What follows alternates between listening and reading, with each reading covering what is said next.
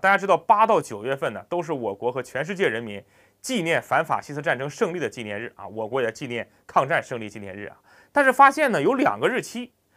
大家知道，你看每年的八月十五日，这都是历史上非常有纪念意义的日子啊。因为一九四五年的八月十五日，日本的天皇第一次利用广播在全国发布了叫终战诏书。大家注意，在日本历史上都是第一次，日本的天皇那是被神化的，不露面也不说话。所以日本人也是第一次听到天皇的声音啊，但是大家知道啊，八月十五日并没有作为我国的抗战胜利纪念日，为什么呢？这是因为当年啊，日本天皇在诏书中玩了个文字游戏，他说什么呢？他说接受波茨坦公告，终止战争，但你看他没有出现投降的字样。什么时候正式向我国投降呢？直到一九四五年九月二日，当时日本天皇和政府代表外务大臣叫重光葵。和军方代表啊，参谋总长叫梅津美治郎，在停泊在东京湾的美国海军战列舰叫密苏里号的甲板上签字了，向包括中国在内的同盟国无条件投降。哎，所以九月二日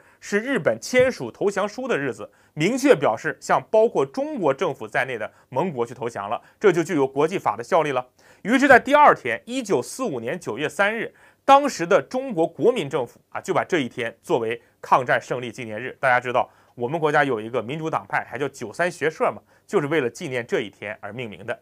那么，我们中国共产党领导的人民政权，就是新中国成立以后，也曾经把八月十五日作为抗战胜利纪念日。但是到了一九五一年呢，就是考察历史以后，政务院决定把十二月啊，把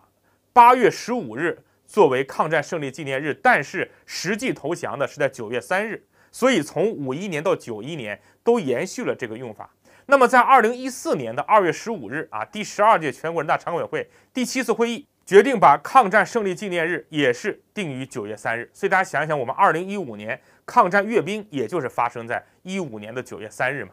但是大家会发现啊，你像韩国还把抗战胜利纪念日定在八月十五日，那是因为日本在一九四五年九月二日是向中国等同盟国投降，韩国不是投降的对象。韩国就没有享受接受投降的这个光荣，所以怎么办呢？韩国人只能自我安慰，是吧？把八月十五日天皇宣布终战诏书的日子定为纪念日。哎，所以这里面还有一个这样的关系。欢迎关注“胡关正经”的优酷账号啊，打开优酷视频首页，搜索“胡关正经”，点击头像进入主页就能看到关注按钮。下次想看老胡的节目，直接点击关注列表就可以观看了。